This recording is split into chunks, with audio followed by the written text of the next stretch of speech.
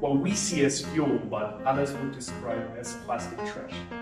What we do essentially is we turn plastic trash into useful resources for people. We provide pyrolysis systems that turn plastic waste into usable diesel and gasoline while also safely disposing of the said waste. Isar Pyrolysis is an early stage tech startup based in Munich, Germany. I spent an afternoon with their founder, Elias Hasel, at the Technical University of Munich's Venture Labs to learn more about the company.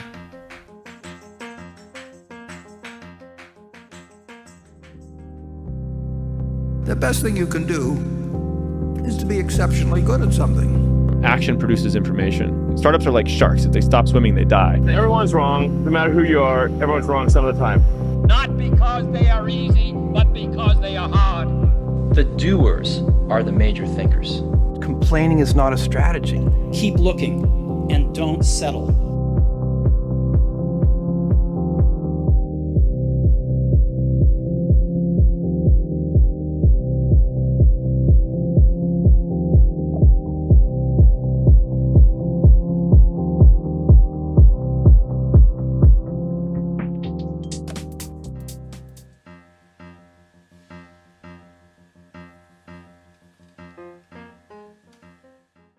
Behind me you see what we see as fuel, but others would describe as plastic trash. And what we do essentially is we turn plastic trash into useful resources for people.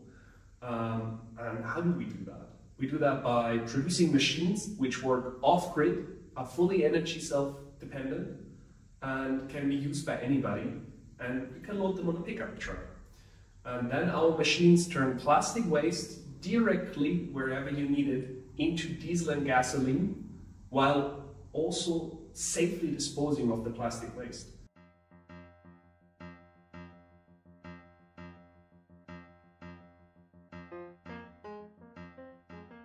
As a chemist, I would say it's, it's the, story of ingenuity, of showing how much humanity has advanced and how little we cared of actually taking care that our advancements don't fuck us over. Plastics, I think, is one of the greatest achievements of humanity. But at some point, we lost touch to actually how we, we handle things. Just think about planned obsolescence.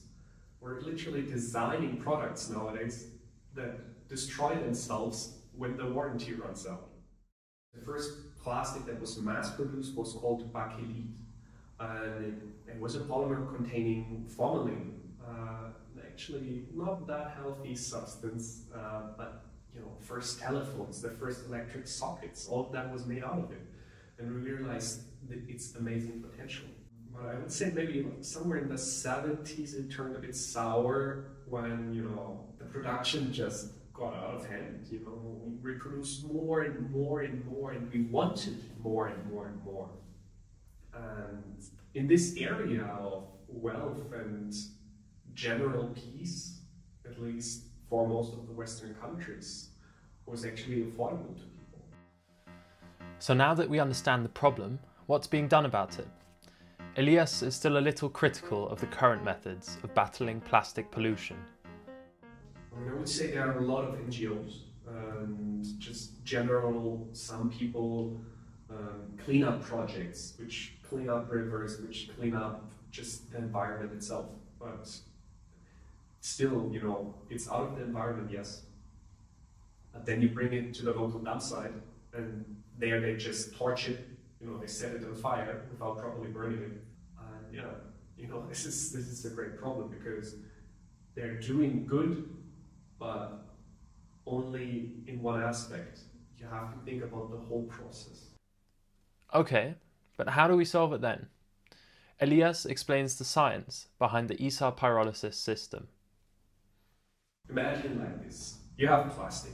It's a long chain made up out of so-called monomers. And you stack all of these chain links into a long chain that is called a polymer. That is your plastic. So what we do is we heat it up under the exclusion of oxygen. So there's no oxygen in our reaction chamber. So when you get hot enough, those chains rip apart into smaller chains in a very undefined way. So you get a mix of very short, very long chains. So when you get out of the plastic, it's basically crude oil.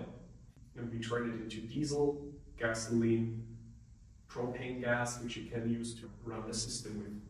So the main idea is basically just heating it up so much that the molecules just decide, hey, it's, it's too hot to stay together and rip apart and turn into liquid fuels. But all of this isn't quite as easy as it sounds. I asked what technical challenge the company is currently trying to solve. I would say the greatest technical challenge is condensing everything down so much that it's actually viable as a small scale system. If you can only make five liters of fuel a day, it doesn't help you. But we're aiming for around 100 liters a day. So that equals around to 100 kilos of plastic waste. So you have very high throughput in a small system. And it's super fun. Um, what is the what's just the coolest thing about your invention? I would say the process itself, just to imagine you have, you know, here behind me, right? And you have this shredded plastic and all of a sudden you run it through the machine and you end up with, with clean fuel. I mean, this is just, to me, still so crazy to, to imagine that you turn waste into a resource.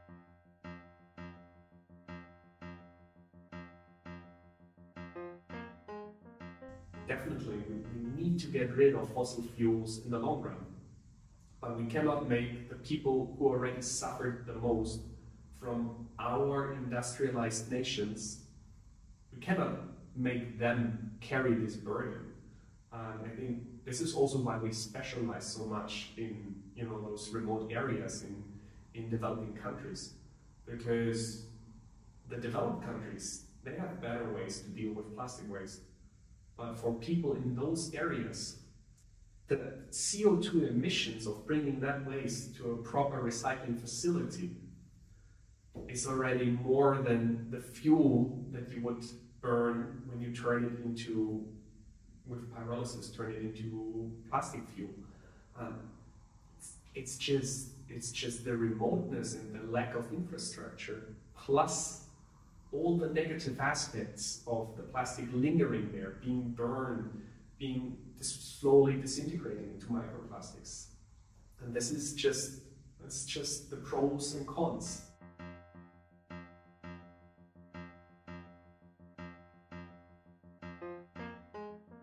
So the next chapter is finishing the full-scale prototype, which is around, say, 95% finished at this moment. Um, and then actually running the first tests and delivering it to the Philippines. And after that, from all we learned from that, we will then develop our MVP, which is the step after the next step, right? And from there, go into small series production. Complex problems require clear solution paths, and a good metric for keeping track of progress is key to reaching long term goals. So, one question that I would like to ask every founder is how do you measure your success? So, we measure our success in plastic waste that we get out of our oceans, our environment in general. Because our first market entry with our close partner, the NGO Pro Ocean, in the Philippines is specifically chosen because the Philippines amount for 36% of the global annual plastic waste pollution for the oceans. Uh, the Philippines have a very delocalized population, a lot of small islands, which leads to there being no proper waste disposal system. And what we want to do in the next around 10 years, we want to have at least 1,500 systems operating in the Philippines, because with that number, we could reduce these 36% to zero. This is only possible if you concentrate on one key aspect, one key area where you have maximum impact. And um, do you perhaps have a message to anyone who's, who's uh, wanting to start a company?